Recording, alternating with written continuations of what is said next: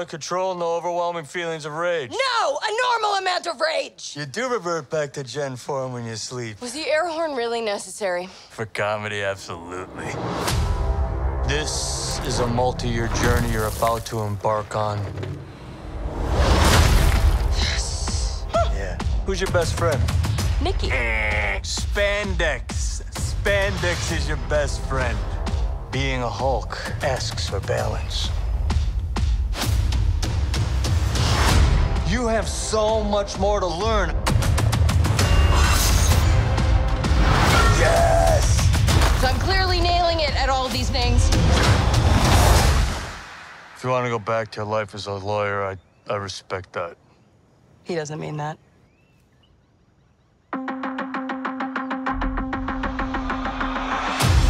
More and more eccentric superhumans are coming out of the woodwork. We're going to launch a division for them. And I want the She-Hulk to be the face of it. Jennifer Walters. Namaste. I have a serious conflict of interest. This man tried to kill my cousin, Bruce. Yeah, that's quite all right. Oh. People only care because I'm representing Emil Blonsky. I think they care because they're like, hey, that girl's green. Jen, do your thing. God, I really like this outfit.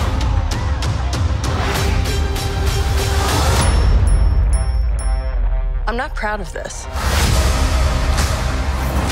Miss Walters, we answer to a higher power. Our universe is on the edge of a precipice.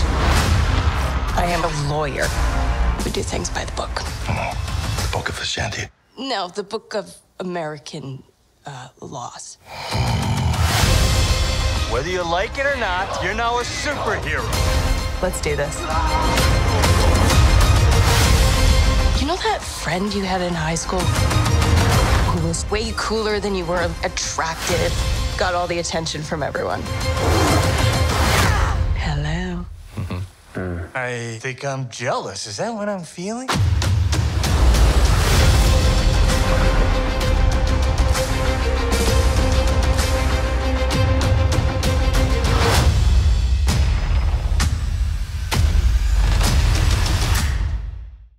Welcome back, everyone. This will be my full She Hulk trailer video. There's a bunch of Easter eggs here. Obviously, we see Daredevil in the trailer, probably one of the biggest things. There's a bunch of cameos in all the episodes, so we'll break it all down. If you're brand new to the channel, I'll be doing videos for all the episodes. They're going to start in a couple weeks. Like, we don't have to wait that long before we actually get episodes. There'll be nine total, and each episode is supposed to feature like a different big character. But obviously, the big thing in this trailer is them just teasing Hulk training She Hulk how to be a Hulk, basically, how to use her powers more effectively. But the funny thing they tease here is that she actually picks it up way faster than he expected, which is why they have that funny moment where she breaks the fourth wall like She Hulk does in the comics. Breaking the fourth wall is something that she does in the comics a lot.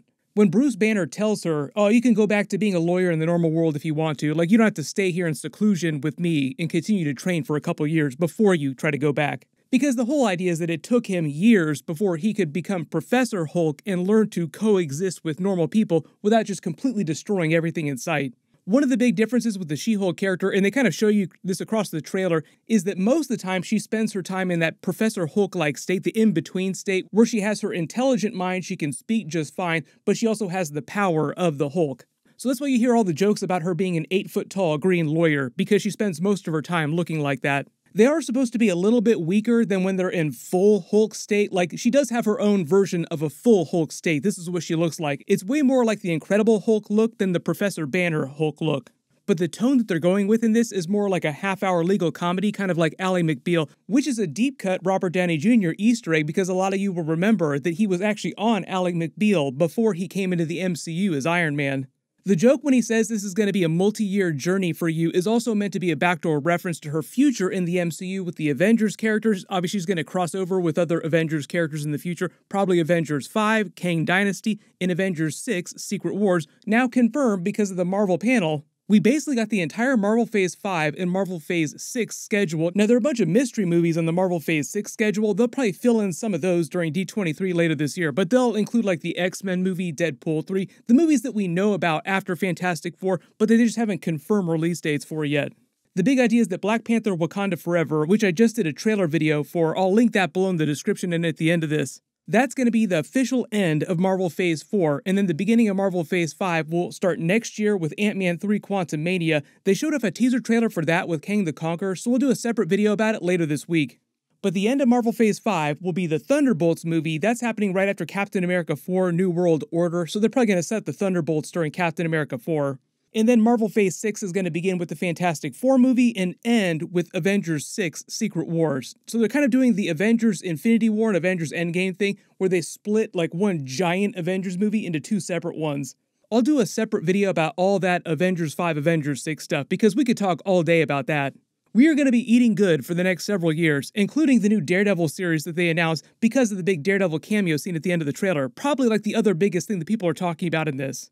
I think the even bigger reveal is that they confirmed that he's going to be wearing a version of the yellow suit, which is actually his original suit in the comics. Like Daredevil started out in the yellow suit, then he got the more traditional looking full red suit that most people think of when they think of Daredevil.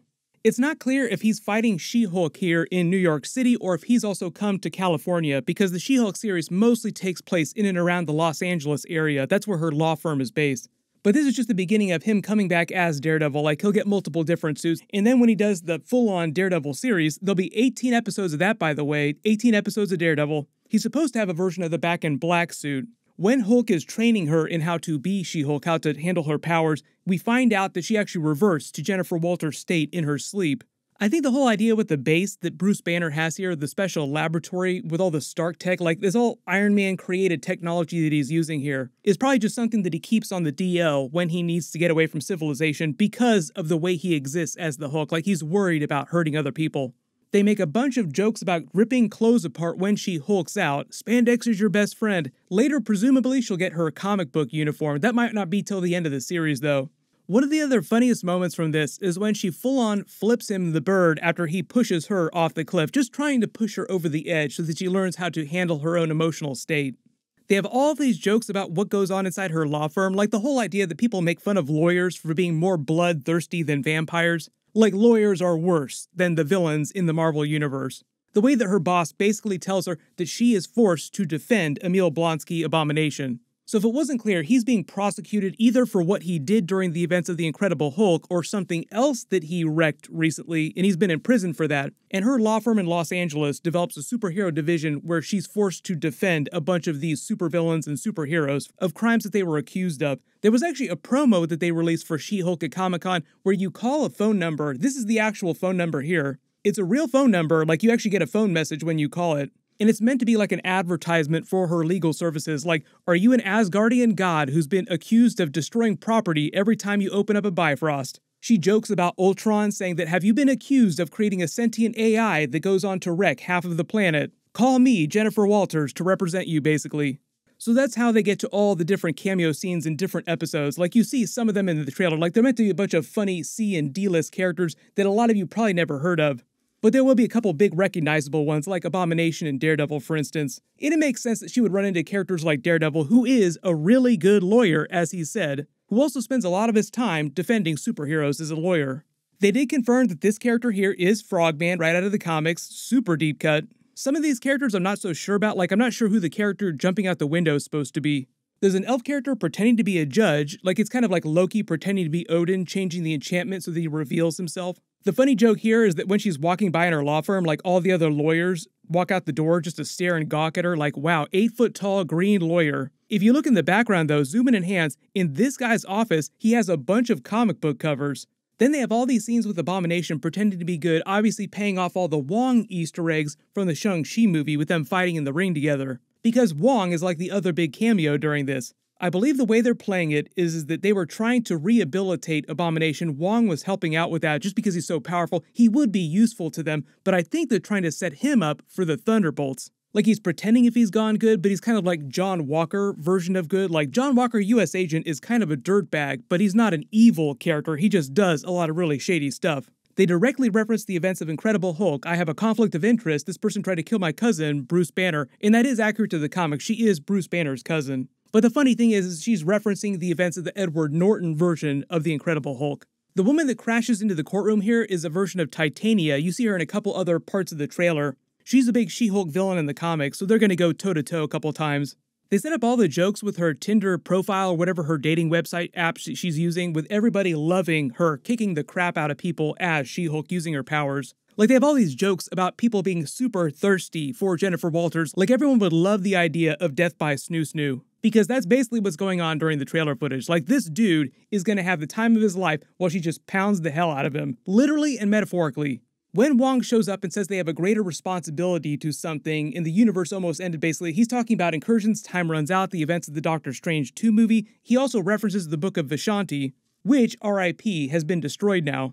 Also, I think the clever reference here, when he references the greater purpose that they serve in the MCU, this greater power, is also meant to be a sly wink at Kang the Conqueror, because literally, Avengers 5 is Kang Dynasty, like it's Avengers versus Kang. And now, based on the Loki Season 2 teaser, we know currently there is a version of Kang the Conqueror who's ruling over this version of the timeline. The character with the magical looking weapons and these other guys here might be from Wrecking Crew, which I believe are supposed to be villains during the series. They're like a small villain group. You see her hook out, she ends up wrecking the hell out of them, probably. But we'll probably get a couple more trailers before the first episode drops, but it will be episode one on premiere day, August 17th. So, of course, I'll do videos for all the episodes just like I do for all the other Disney Plus series. If you think you know what some of these other minor C and D list characters are supposed to be, besides like Frogman, like the Bat, and some of these other characters, let me know in the comments. I'm still working my way through a bunch of other Comic Con trailer videos, and there was a bunch of other trailers during the Marvel panel too. I'll do videos for everything. Make sure you enable alerts for my channel so you don't miss any of those. I'll try to get them out as quickly as possible. Everyone click here for my new Black Panther 2 Wakanda Forever trailer video, and click here for my brand new Spider-Man Freshman Year trailer video and Easter eggs. Thank you so much for watching, everyone stay safe, and I'll see you guys in the next one.